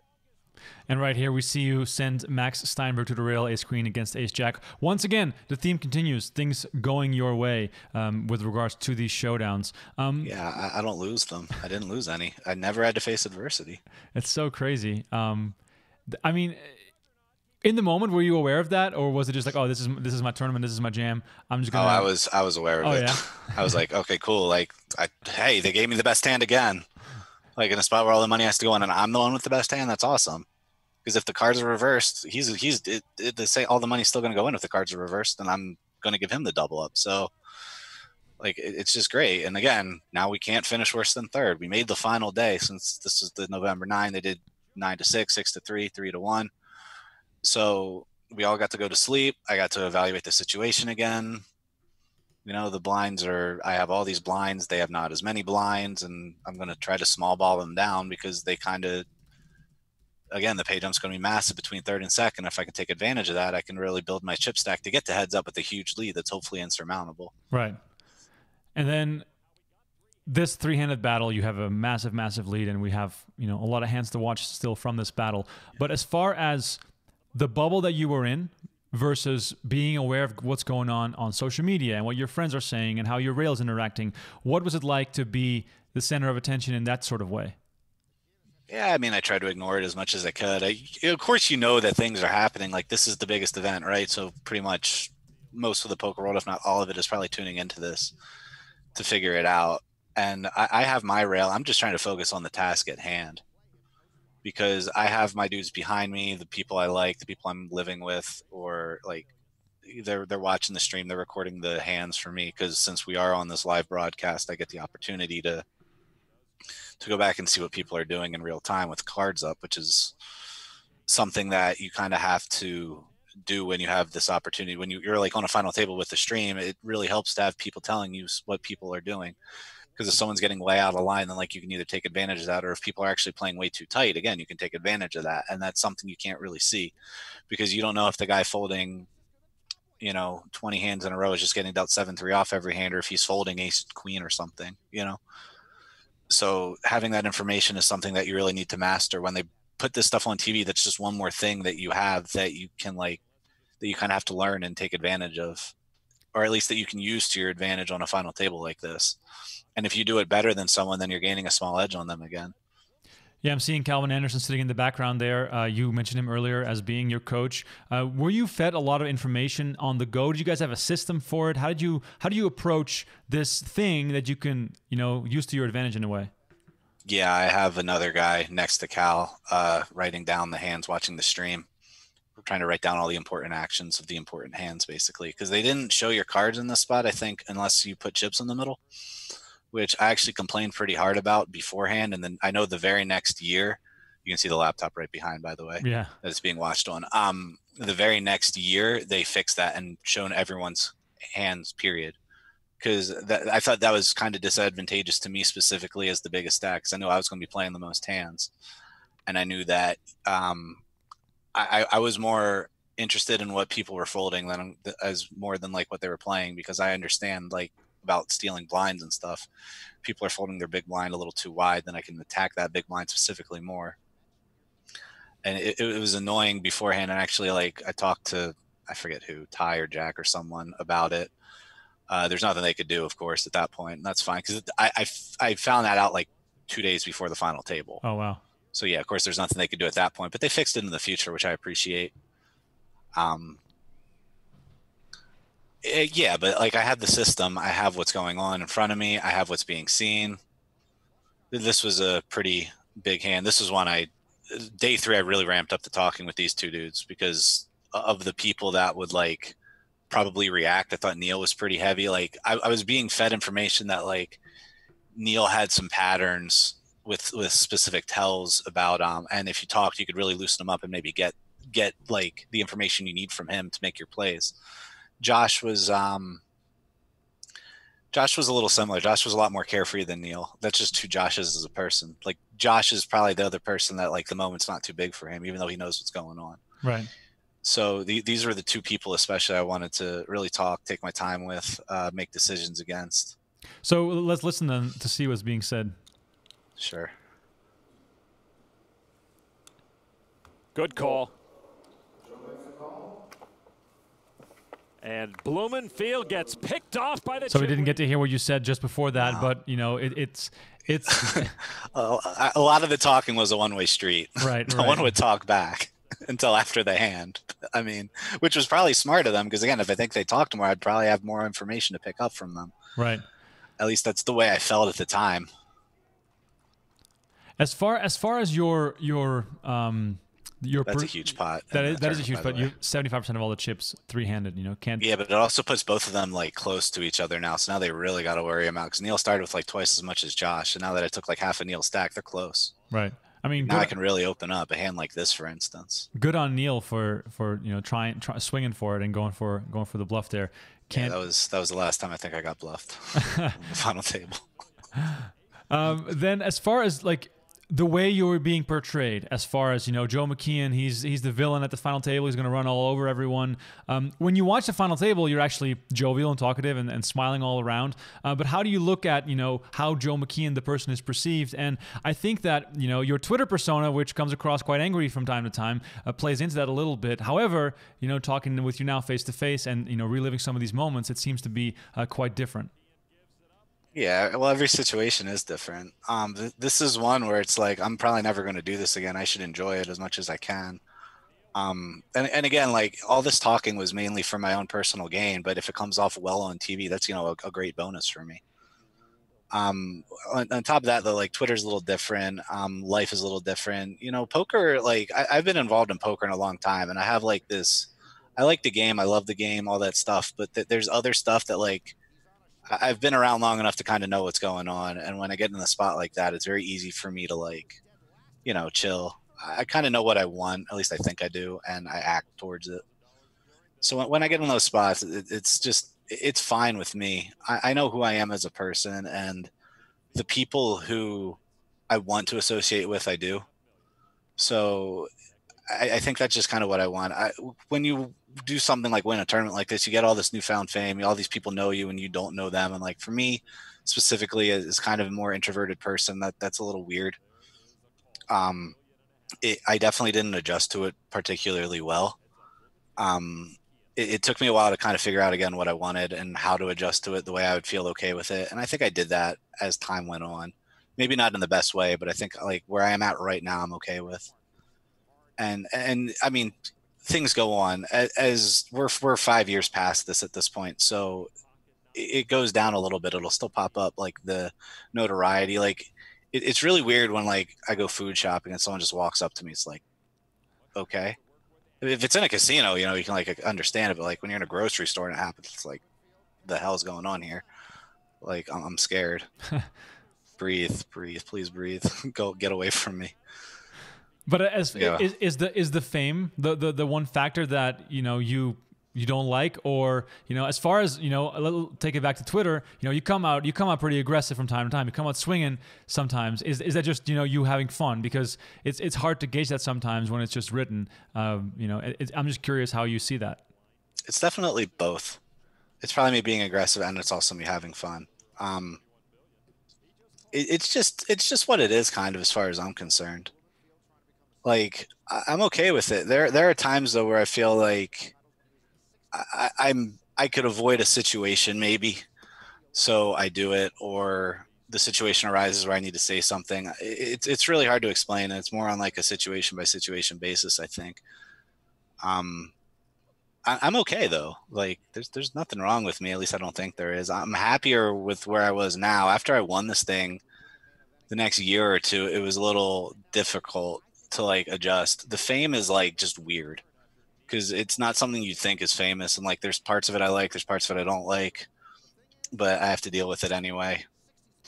You know, especially like whenever World Series of Poker time comes, I'm going to get recognized because you know but like like i said like doing getting it in a supermarket though there's no reason for me to be recognized in a supermarket so it's it's weird right i, I got to prepare myself i got to adjust myself for it i do I, I i've gotten better i'm a lot more mature now than i was five years ago and you know we're still going on with life. So how di- this wasn't everything. No, but so how different is it's two things. How different is playing after becoming the world champ, and how different is walking through the Rio hallways once you become the world champ?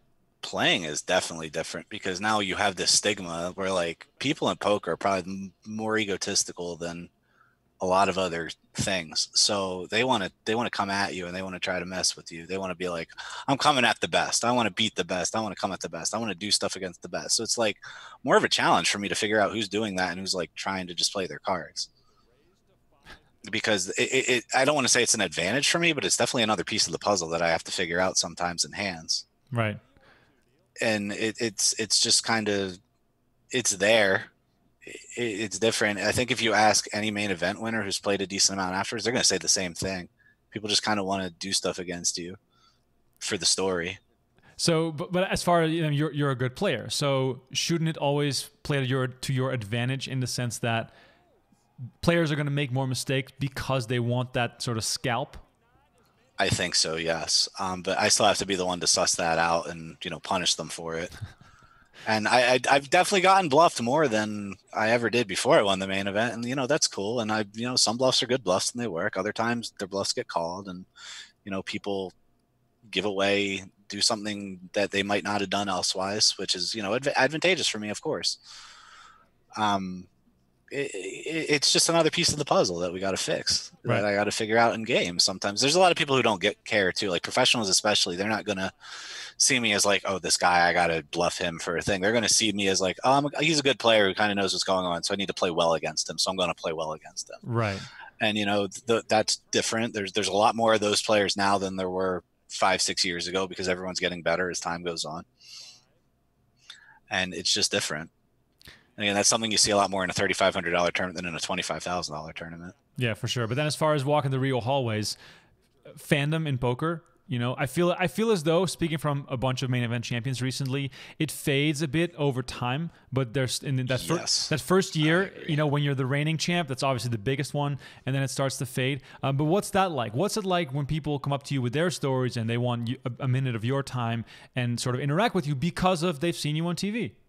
Yeah, I kind of that that's the thing where I think I'm different than a lot of people. That's where I kind of I don't really like to give the minute of their time because generally when I'm in the Rio, I'm doing something important or I'm doing something that I think can help myself, you know, take care of my job. I'm I'm usually not just sitting in the Rio doing nothing for fun. So if, if I'm there, I might be game planning for a spot I'm going to play or a tournament or whatever. Like maybe I'm on a break of a tournament. I need to use my break to recuperate mentally, chill. Um, I uh, like I, I try to not spend time in the Rio if I can help it. So i it's like it's a weird thing because I don't I don't really give people the time of day that they might want from me, but I don't feel bad about it either because I'm I'm kind of just looking out for myself more than I'm looking out for everyone else, which is generally what poker is. In poker, it's a very selfish game. It's really all about you on the table. It's not about the other people. It's it's not about your friends anymore. You don't have friends at the poker table anymore. You have all the friends outside of the poker table, and that's awesome. But you know, like I said over said it, a very good friend of mine, and you know, the biggest spot of both of our careers. So, and I don't feel bad about it, obviously, even though you know our life paths went two dramatically different ways because of it. it it's just kind of how it goes. Right.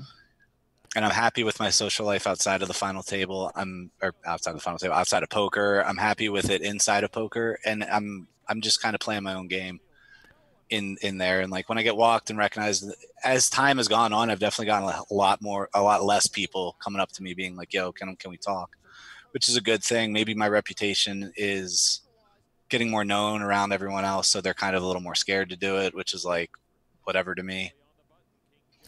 I mean, not sad about it. that imid- int- intimidation factor might also be helpful at, at the table. People, even even if they're perceiving you wrong versus what you're like, you know, just with friends, it's still, as far as your profession goes, might be a benefit. Yeah. Um. Again, it's weird because some people might get very intimidated, and there's definitely people who have been more scared to play with me because of that. And then there's other people that go the other way. They're like, Right. "Screw it, I want to beat this boss up." You know, like it, it, it's just a different type of thing. It's very weird. It, it's and it, it's just another challenge for me when I'm at the tables that I have to deal with that a lot of other people don't have to deal with. But that's okay. That's great. You know, it, it's fun for me. As far as far as becoming famous, or or, at least spending you know 30 hours on ESPN uh, in prime time, what is that like for you know uh, friends and family outside of the game, or former teachers, or, or or your neighbors, or whatever it is? What has the response been like from those people that know you as just Joe from down the street? Oh yeah, they love it. They're you know it, when you get to like friends, family, it's very foreign to them, so they don't understand poker as much. You know, they they might not even know the rules of the game. They don't understand what's going on, but they're just cheering for you because of support. And like those are the people that like that make you feel really good inside because they're not interested. They're doing it because of you. They're like paying attention because of you, and that's cool. And like I know that a lot of people now like that like to follow up on my progress just to see how I'm doing, even though they don't know what the hell's going on again, and that's great because th- that's like that- that's good, you know that that just makes you feel good that people like care about you enough to want to do that. They're they're basically you you created an interest for them in something they had no interest in, and the fact that you're the one that created it makes you feel a little good inside, I guess Right. and it makes you feel good that they want to take that that uh they want to like they want to follow you because of you. So that makes you feel good as a person. Were there any moments that stood out from the aftermath of winning this tournament that you know you have you know special memories of, like interactions with people, or, you know just I don't know, maybe just celebration in, in some kind of way? it's a good question. Um i so after you win this tournament they give the winner a party in the palazzo suites which i'm sure you've probably been to a couple times um, as have you know like a lot of the final table lists go and a lot of the rails. Like there's hundreds of people in this suite the night of and it's great and there's all this alcohol and partying and it, it's it's a very unique experience. Plus the plaza suites are probably the nicest thing i've ever been inside. Um and that party i remember pretty nicely. I, I was pretty exhausted obviously after winning the tournament but you know i did what i could toward the middle toward the end of it i kind of bailed a little bit and it was great though because my parents got to, you know, my parents, my grandparents, they got to socialize with more people who, like, were involved in the industry more than they, so they got to learn a little bit more about it, what I did, like how big a deal this was, and I think it made them feel good. All this stuff was really cool. I think. Um, afterwards too, the days after, you know, I got to spend a lot of time with my parents and grandparents, you know, like over very expensive meals that they never had the opportunity to get before that I could treat them to. Stuff like that um, is what I kind of remember from it. That's really awesome, man. I mean, Yeah. I, I feel as though sharing an experience like this with family is one of the craziest things because clearly, and this is probably the same for everybody watching right now. If you tell them you're playing poker, they always say, "Oh, just you know, get a job, to finish school, just do, just act normal." But then, you know, when you do something big, and you know, in many people's cases, that might be just win something small or whatever. Have a have a nice meal because of you, you using your profits in in some kind of way to take someone out.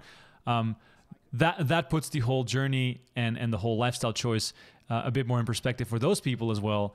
Um, and, and it's cool that you also had had that moment because now no matter what happens in the future, you can always look back on those moments and and be like, yeah, at least I did that. Yeah, it's it's nice to take pe- uh, excuse me, it's nice to take care of the people who have taken care of you for your whole life. So when you get to give something back, it's a very good feeling. You know, that happens a lot with professional athletes too. That's that's always a huge story and and you know, that's great and like I, the fact that I had the opportunity to do it as well was just, you know, phenomenal. Yeah, that's that's really awesome. Um, we're still three-handed here in the main event. Um, was it what you used you mentioned you were exhausted when it ended? What was it exhausting because of how long it took? Was it the mental energy? Was it like an adrenaline dump after you know it's all over? Like how do you how do you look back on on that part of it? Yeah, probably all the above and also just a lack of sleep. For sure, it's a little hard to sleep when it's just like, oh, by the way, you're going to play tomorrow for all this money, and you you're the one that has all the chips, and you're the one that's expected to win. Okay, cool. Good night. Like it, it doesn't work out that way, unfortunately, or it didn't for me. Even nowadays, like when I go deep in a poker tournament, and like I know I have day three tomorrow with with like 27 people left, I'll even struggle to sleep. Wow. Uh, yeah, I try to get some sleep. If I can get some sleep, I'm okay with it. Um, that's something that, like, I guess I just do okay at. Maybe I'm, I'm a little better on lack of sleep than other people. That's like, I don't know why. I can't explain it, but it's just something in my life that I, I guess maybe because I try so hard and I take this, I don't want to say personally, but, you know, I take it very seriously that it maybe it messes with me mentally a little bit when it comes to something as simple as sleeping or eating. I know I struggled to eat a lot during the actual tournament too. Like I, I I struggled to eat while the tournament was actually going on, Really? and then after like we bagged up for the day, I would eat all all the food and then go to sleep. that that was pretty much it. Uh, yeah, I day one, day two, whatever. But like day four, day five, day six, I was struggling. I tried to have like a banana in the morning because it was probably all I could eat, and then just chill for a while. Right. And are you like, you know, lots of caffeine? Are you, you know, smoking on the break? Like, what, what's your routine? Or is it just, you know, trying to get through it in, in some kind of way? Yeah, I, I do none of that actually. I don't drink caffeine and I don't smoke. At least I try not to. I do remember having like hot chocolates deep in the tournament because I need a little bit of sugar. Uh, outside of that, I'm, I'm just all natural. Wow. That, Yeah, I mean, try to stay hydrated with water, and that's pretty much it. Right. Do you see it a lot? I mean, this is a question not about you, but do you see it a lot? People um, using performers in performance enhancers in some kind of way. I mean, I've heard stories over over the years of people being on drugs in also all kinds of ways, which I cannot imagine being performance enhancing. But like, are there stories or people that are on certain routines to improve their play?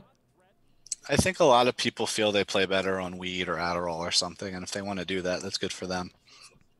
Um, that never interested me. I know a lot of people love to smoke, and that's totally fine, as far as I'm concerned. Right. It, it mellows them out. Maybe like they're also the type of person that gets like really into the moment, and something like that helps them stay level-headed. Oh, here we got some talking going on. Let me let me Yeah. let me go go back and scroll back on this hand because I feel like it's a pretty interesting spot. Uh, talk us through Yeah, what we're seeing. just, I mean, he just raised pre-flop and bet three times. Um, this is a board that like I, I defended from the big blind. I should have a good amount of this board. His flop bet is um is very 2015. I don't think anyone would bet the flop with this type of hand anymore. Also, like the race pre-flop is pretty 2015. He made it kind of small, so uh, it- it's a spot where like he shouldn't be bluffing. But I have a pretty good hand, and it's kind of dumb Um, because it's also hard for him to have like a really good hand. He shouldn't have many sixes here, for instance. He, he could have like good tens. He could have over pairs. He could have some bluffs because clubs missed. He could have maybe like ace eight or ace nine or something. But I'm going to scroll back a tiny bit and then listen into what you're saying because we haven't heard you talk much on the broadcast. But uh, I'm kind of curious what you were trying to get out of him. In the spot. Oh wait, let's go back a little further. yeah, I, I think I said something along the lines of like, uh, when you bet the flop, I thought you were going to bet 6.2 three million. times. So I, I had to be prepared for it.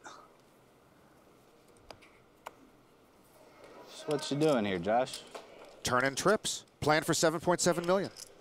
Yeah. Why do I keep finding I- myself in the I mean, if if Josh said what uh, Norman said, I would have just folded really fast. It would have been nicer to know. Why couldn't you bet 10 million? I know what I'd do by now. Probably give you your money. That, that was definitely a lie. Joe 10 saying if I would Josh have had bet folded. more, he would have snap called. I had a feeling too when I saw the flop you were going to bet three times. Just didn't know if you were or not. I mean, that came pretty clean for me. I always have a good It hand. was a bit better by now. This is another really Actually, good bet. he bet a have it or good not. size here. Because I think if you bet more, I would have folded a little more comfortably. Right. I, I spoiler, I call. Um, so So how long? So obviously, we're watching a, a, a cut down version of this broadcast. How how long was this moment? Were you actually putting him to the test for like a couple minutes, or?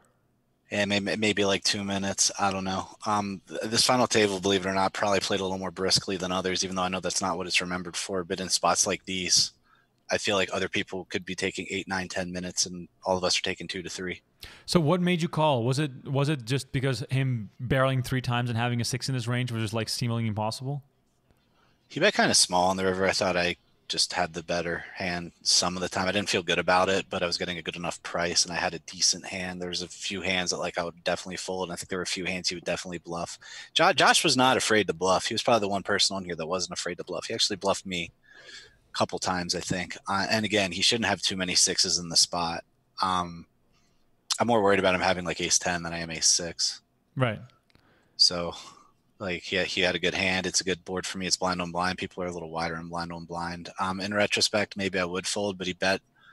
He, he, he made a very good bet on the river because it was small. If he bet bigger, I think I would have um, I would have folded pretty easily. Because again, I don't think people are really bluffing in that spot against me in the spot. Like, there's there's all sorts of stuff to go over, and I could have probably answered that question a lot better five years ago.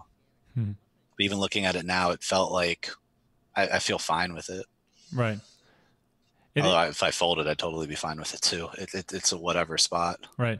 Um, when I was talking to Dan Coleman, and, and this is about heads up play, and we'll get to that as well, but um, Dan was explaining to me that back then he had a certain style and a certain approach for heads up sit and goes that basically he was playing almost like a mechanical style where he would never deviate from what he what he knew from all his experience that he would do. How much do you in moments like these deviate? And how much of it is assessing it in the moment and how much is it, you know, like okay, this type of sizing, this type of run out, I'm going to make this decision because that's just what I do. So in a heads up sit and go, there you're just playing to win. There's there's nothing else. In a tournament like this, you get to play for ungodly amounts of money that every person busting you make more. Right. So when when I get in a situation like this, I'm I'm definitely it's different because I'm not playing normal poker at this point. I'm playing final table poker. I'm not trying to there's a big difference between playing on a final table and playing level three of the tournament. If this is level three of the tournament, a lot of these plays probably aren't similar. And I also have a big stack, and that that matters a lot more in a final table. So when I have that opportunity, I have to deviate by playing a little more aggressively and putting pressure on these guys to get them to maybe make some bad plays to win pots that I probably wouldn't win earlier in the tournament because they have to be very cognizant of the fact that if one of them busts, the other one makes a million dollars. That's kind of a big deal. We can't forget that. So I get to play really aggressive and pressure the crap out of people for it. But then also you mentioned earlier that you feel as though you are a good final table player. Is that just you recognizing and realizing equity and, and, and, and spots and understanding that better? Or is there is there is there more sort of I don't know, is there is there more to it? Because it sounds so interesting when someone says, Yeah, I'm a good final table player. I agree. It kind of, it sounds kind of silly when you say it, and it sounds like very blow steam up your butt type deal because like, but but it is really a thing. There's every every pot kind of can change the actual complexion of how everything looks. So, like when someone doubles up into the chip lead, now they're the chip lead. Now they're the ones that can't bust anymore. And that's kind of a big deal because now they have the opportunity to start playing really aggressively. And it, all this stuff kind of accumulates. And being able to adjust on the fly while still understanding what people are doing is a real big deal. Because if I know someone doubles up into the chip lead, but they're going to be kind of snug and still fold a lot, then I can take advantage of that as like the not chip leader. Whereas, like, if I'm the chip leader, there's going to be a lot of chips going in the pot from my end. I'm, I'm going to be trying to win a lot of small pots because I should be able to. I might put pressure on you to the point where you might have to make a decision for your whole stack and potentially bust seventh instead of, you know, folding and easily busting higher. Something like that's a big deal. Right. And it, it, it's a big difference having a chip lead to being like a medium stack. And being a medium stack on a final table is pretty hard. When you're a short stack on the final table, you don't really have anything to lose. It's whatever.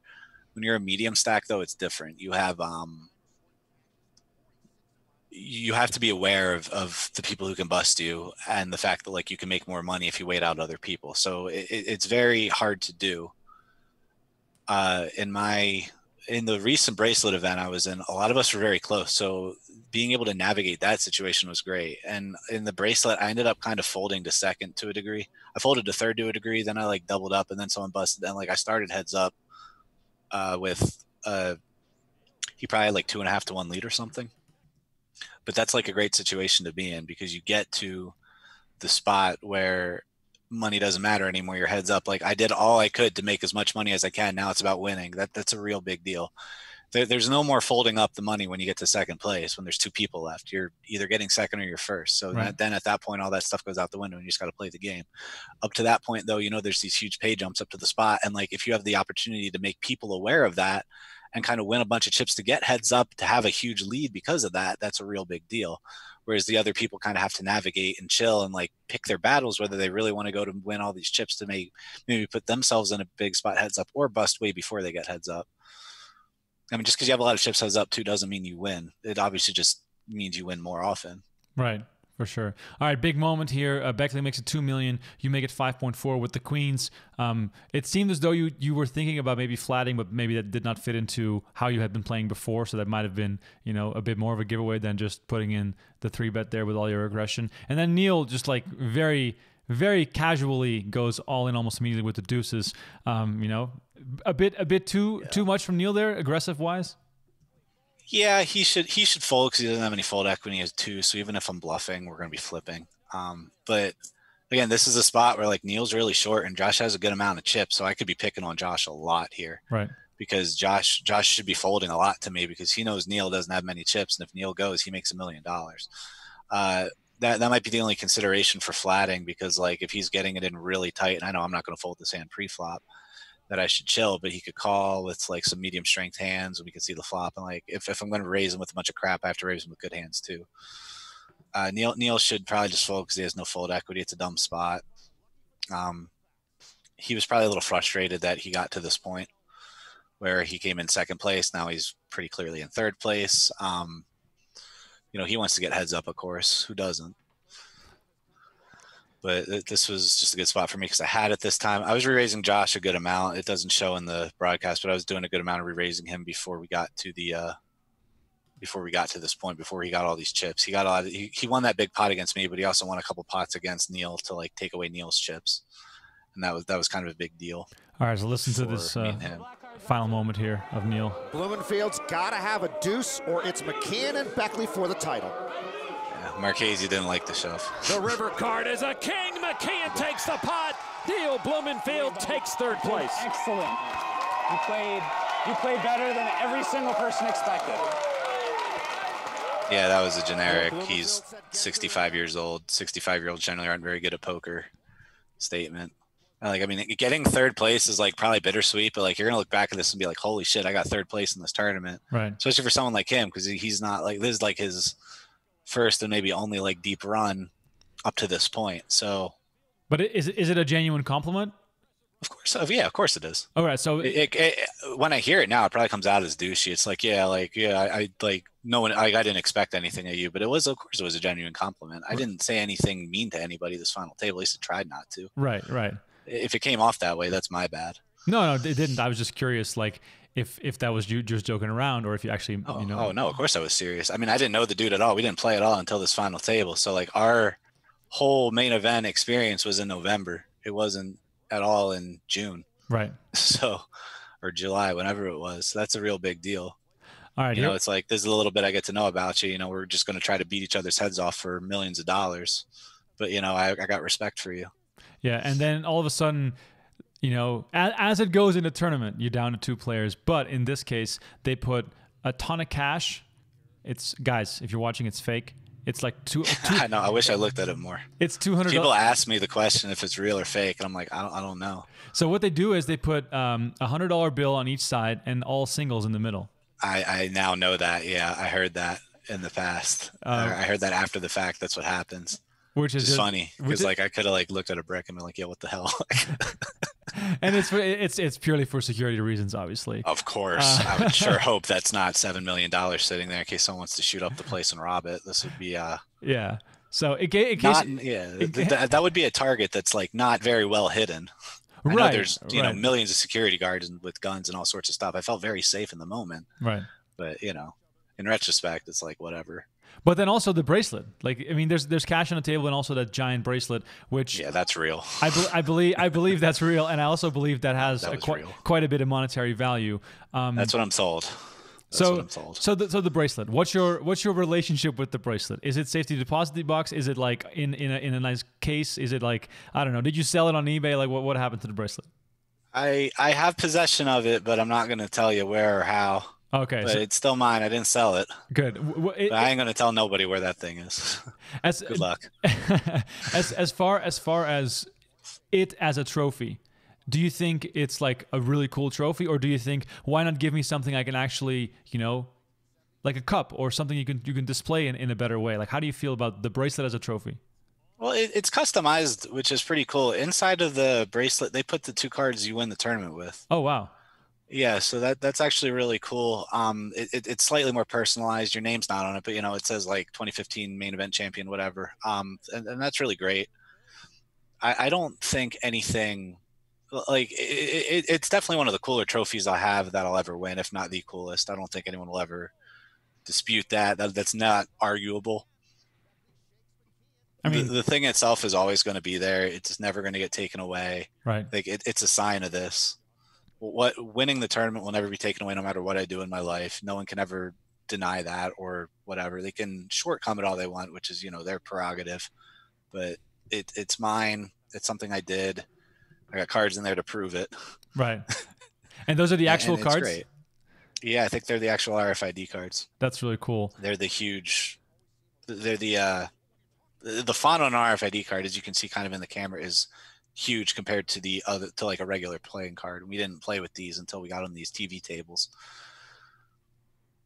and then you're playing heads up um, as you as you alluded to earlier you know there's there's no other option but to win because you already got second place locked up um, was it pedal to the metal for you uh, at this point I watched this hand and will answer your question. all right Look at how awkwardly he puts these chips in. I thought I picked something up. all right so tell me talk talk me he, through it he just seemed very unconfident with his re-raise in this spot. The way he did it just was not the. It wasn't consistent with the way he was doing it beforehand. right And and I, I in game I picked this up and I did something about it. Is he going to the raising deck? I also have a really bad hand, so like I, I can't really call on this spot. I should be folding or raising if I'm going to play the hand, but you know I, I this is not a good hand to raise with. Obviously, I got garbage, but just very confident in my live read in that spot that he was kind of weak. It just it looked very unnatural, and I, I decided to test it, which is something that like your heads up on the the main event final table. A lot of people might not do that. They might not go with their reach because they don't want to look wrong. They don't want to look stupid. But I was not in that situation. I, I didn't feel that, which is like just I, I don't know, maybe just the way like my genetics are or build or whatever. You can tell how excited I look to win that. I'm like, yeah, I'm I'm I'm on fire right now. I know what's going on. I mean, Some, something like that is a huge confidence builder because if I lose that, it's like ah, right. I was wrong. But like winning that, it's like all right, I got this. We're we're gonna we're gonna get this kid. I was gonna say, is that the is was that the moment where you're like, okay, this is over. I got him. I mean, I felt that way the whole time, but that one, you can tell I look like I'm beaming after. Oh, they're going to show the Oh, router I, or the river I hit to survive. Pretty pretty big hand to to win. You know, not busting on day six. I mean, for the people unaware, that was day six, same same opponent. Uh, however, you were in trouble and you spiked the river there to stay alive. And he just kept surviving in the tournament with his ten bigs against me. When I hit this obnoxious river with the final two tables, where I'm just running everybody over, and I'm just like, blu- it looks like I'm bluffing every hand, but I'm not. He's he's trying to, and he makes this absurd fold in a hand where like he has a really strong hand, and he sussed out the fact that I really had a straight, I guess, or something. He said something I remember in the hand like, "You must have two pair or straight," and made made this incredible fold with not many chips behind in a spot where it's it's like absurd. I mean, good on him. Like, do do you still? Like, yeah, he was a cockroach, dude. He didn't go away. does he still play? time. Like, I, I haven't heard the name Josh Beckley in a very long time. yeah, I haven't either. I know he moved to Florida and did stuff. Um, look, I smile when I hit three of a kind. That's funny. uh, yeah, I don't really keep in touch with him anymore. I know he had some issues that aren't really. Uh, I'm not really. I shouldn't be talking about, but I'm, as far as I know, he's he's fine. Okay. Um, yeah, he, he moved to Florida. I think he plays a lot more recreationally now. Like he took his money and was like, I'm going to make a life for myself with it. And, you know, Right. poker may or may not be the life, but he didn't go many places afterwards. I don't know his mindset as far as what he wanted to do with his money. I think he did what he wanted to do with his money, and you know, respect to him for doing that. Um, you know, we all did what we should have done with our money, or at least what we think we should have done with our money. So, you know, he's he's living in Florida. He got a lot healthier after this, so good for him. Yeah, he he maybe felt like he made enough money where he didn't really need to make money anymore in that regard. So, that's his decision. Right. I mean, m- m- like like I said earlier, you know, some some people get motivated by getting money. Some people get, you know, I mean, lazy is not. A, I'm very lazy. Lazy is not a bad term. Lazy means that you're just chilling. You're just having a good time, hanging out, doing your Well, thing. He, he put in the work to get all this money, so Right. it's up to him what he wants to do afterwards with it. If he wants to get lazy with it, that's his decision. Whereas, like me, I didn't want to get lazy with it. I wanted to keep going. I wanted to go higher because I didn't really know anything better. But I wasn't just going to be like, oh, I want a bunch of money. I'm going to sit and Right. never do anything again and just live on it. That that's too boring for me. So how do you look at your future then? Like how do you look at you know of course you know we're COVID like a big crisis going on but like let's say things get back to normal next year um are you in in in I don't know in a way people say like are you a lifer is, is poker you know your your life and your your passion in that sort of way or are you also venturing out into different things now that you have a bit more you know room to play with? Think things can change. I mean, I I for the most part though, I'm probably I'm still in poker for the foreseeable future, absolutely. And who knows in a couple years if that changes, but there's there's almost no reason for me to do anything else. I don't have the passion to do anything else. I haven't found anything I've really wanted to like um dedicate my life to or put a lot of resources in that hasn't been more than like a generic whatever to me Right.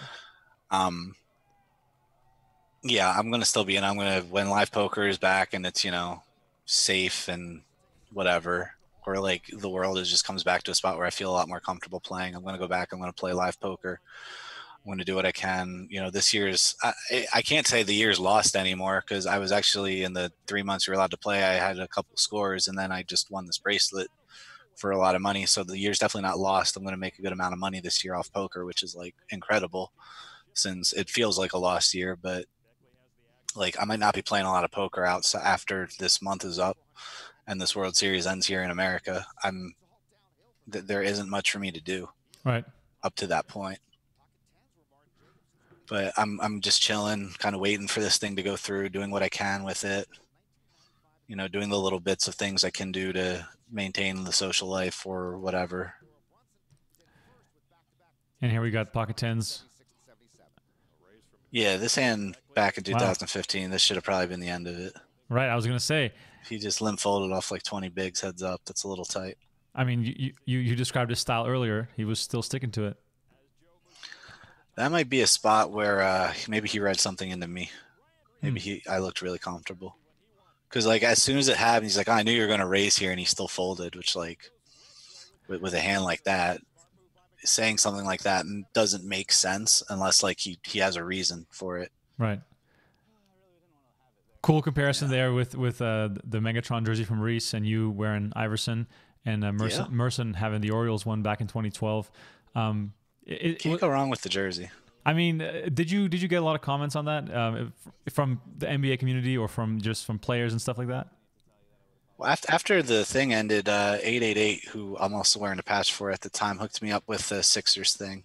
Um, we got to go to a game and like I got recognized and stuff, and like I got to shoot T-shirts out of the cannon. That was cool. Oh, that's awesome. My brother got to do it too, and he was let's see, five years ago I was 24. He was 11 or 12 at the time, so like that's a huge deal for him. That's really awesome. Yeah, he he he enjoyed that uh, since that that was pretty absurd. Yeah, it's really cool how that how that yeah. how it, it's cool when you know our poker bubble turns into this na- na- national phenomenon once a year for the main event final table, and all of a sudden, you know, people are exposed to poker, which you know doesn't happen all the time. Nope, it doesn't have to. But if you like sports, it pops up on ESPN too, so you're gonna probably watch it. it. As time is going on, I think it is getting bigger. We might never have a boom, but it is still gradually growing. Right. Look at the numbers of these fields. You have all these people finding money and making time to go to these tournaments, you know? And it's like incredible. That's something you didn't have back in the day. And and you you won a relatively small main event, which is kind of crazy. Yeah. all the main events around me were paying off a few more million, but you know, you can't be picky when you're winning a main event. you're going to be happy with with, with uh, you're going to be happy with whichever one you get. Yeah, you didn't you didn't call Jacobsen and say, "Hey, where's my where's the where's the other 3 million?" No, I do that to Blumstein because I'm friends with him. I was friends with him way before the tournament started. I was friends with him before either of us won the main event. So that's fine. Like, yo, you you got an extra million. it's it, you're picking up the tab today. Yeah. All right, here we go. Let's listen in on this hand. We're flipping ace ten fours. Yeah. Nobody flips with McKeehen. Standard hand. He's got 19 bigs or something and a small pair. Usually the best way to play it is to just shove him in. Right. I got ace 10. I know he's not shoving in like hands that dominate me with. So he's got a lot of small pairs. He's got like weaker aces or like two broadways or something. Or at least that's what he should have. So this is like actually worst case scenario for me that I'm flipping. When I see my hand, I'm like so excited to play it. How long was this that? hand though gets overplayed a lot. Ace ten offsuit, man. Like this isn't like people are known for like their winning hands. Like you got Doyle with ten deuce. You know you got Martin for the ten for ten because it worked out because he had pocket tens. I got ace ten off. That's not a hand that like means anything to a lot of people. It's it's it's not like every time you look down on ace ten off, you think of this moment. No, man, I don't even think about it at all. Ace ten off is such a weird hand to play too. Um, it's like a good but not great hand, and it, it like you can overplay it or you can underplay it. There's ways. It, it's a tougher hand to play. Heads up, it's a very good hand, of course. Um, but in general, this hand doesn't doesn't mean much. I, I, I forget the suits that I win with most of the time when they ask. I'm like ace hearts, ten of diamonds. Ace, I know they were both red. That's all I remember. Now the river card. Beckley's got to have yeah. a four. No, no adversity the entire time. Literally none. The You're, most adverse hand I had was calling off with that 10-8 and losing to that ace-6 on the river. I was gonna say that was your big... that like that, that was the biggest hand I lost probably the entire time. So they crazy. didn't like show a hand that I lost a lot of chips in because there weren't any. I mean, that's that's yeah. that's that's the way every player wants it to be. You know, you just start with the final table chip yeah. lead and you just run it run it down. That's the absurd part. I didn't have to fight, whereas like all these other dudes, they have to fight. Scott had to fight hard. Jacobsen obviously had to fight hard. Right. Um, Qui had to fight hard. Um, I don't think like trying to think of someone who didn't really have to fight hard. Like Jonathan had to fight hard back then, and he had all the chips too. I'm, I'm that's Raymer probably didn't have to fight very hard. I was gonna that's say so long ago though. Raymer, oh Jamie Gold is probably the only one. Jamie Gold didn't have to fight hard. Yeah, that's true. Jamie Gold and Raymer like way back in the day, but once you got to the November 9th part of it, like yeah, I definitely had to fight the least out of anybody that's won the tournament, and that's just like pure luck and like absurdity because there there have been bad beats on the final table, and somehow none of them went against me it's it's it's nuts, man. Like so much has to go go right to make the final table, and then yeah. and then once again, the final table is almost like a new event. Like it all has to go exactly. right once once more, which is just insane. Yeah, the, first time I was all in in the tournament, I hit a ten on the river. So Yeah, that's that's You know, just that might have been the only time I was all in in the tournament, which is absurd. Wow. All right, we've reached the end of this final table. Uh, as everybody can see. Then there's there's there's mom mom McKeehen uh, in the shot as well. I figured that's a, a great way to to pause the final frame here. Uh, for everybody watching, please like this video, subscribe to the channel. Turn on the notification bell so you get to know whenever a new video comes out. We do top five WSOP videos every Wednesday. We do day one WSOP coverage every Monday. And we do run it back twice a week, every Thursday and Tuesday. So, Joe, thanks once again for reliving this with me. I'm curious, though, how many times have you rewatched this, the final table? a lot, quite a few.